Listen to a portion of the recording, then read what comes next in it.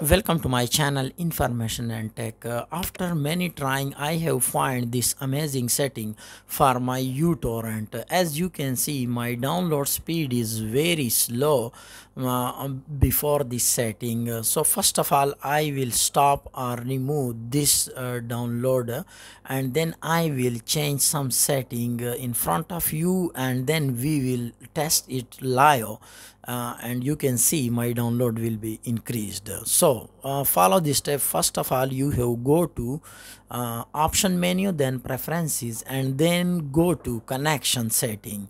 In connection setting you have give this ports uh, 29954 and uh, uh, by default port will be changed uh, accordingly 456 at uh, 93 and then apply. By changing this port uh, you will be specific uh, specifically get an amazing speed. Uh, after changing this setting you will go to bandwidth setting and then you have changed it uh, up to 100 and then this global maximum speed will be 2330 and then you have to change this setting up to 250 and then the last one will be changed up to 14 so this menu of bandwidth setting will be also completed by changing this value and then apply and then ok. So this setting will also done and then we will go to queuing menu.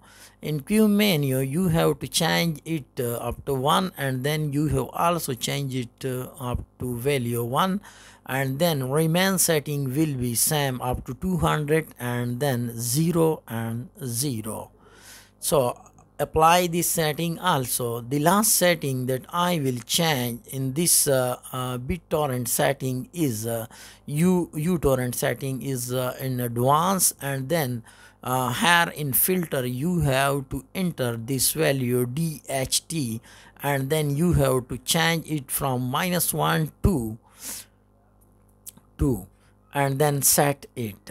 So this value is changed and now again you have to filter here rss uh, setting rss update interval which will be uh, 15 so uh, in any case you have it change it up to 20 and then apply and hit set uh, now the third setting in advanced setting is bt connect speed uh, which is 80 as you can see.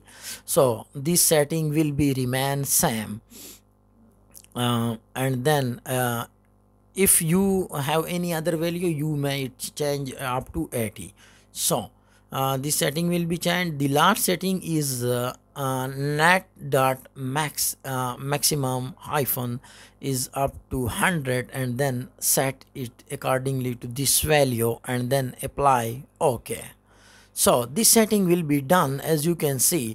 I am uh, currently not uh, starting this download because i am now adding this uh, tracker.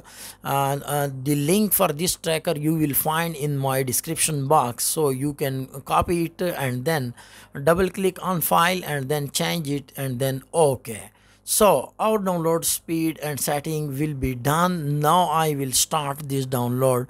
And you can see my first downloading speed is up to 100 kbps on 200 kbps and now you can see it is amazingly increasing up to 1 mbps. And then it is still increasing. It is depend on your internet bandwidth if uh, you are downloading uh, sorry in your internet speed is high then this speed will be uh, reach up to maximum download speed. For uh, other videos subscribe our channel. Thanks for watching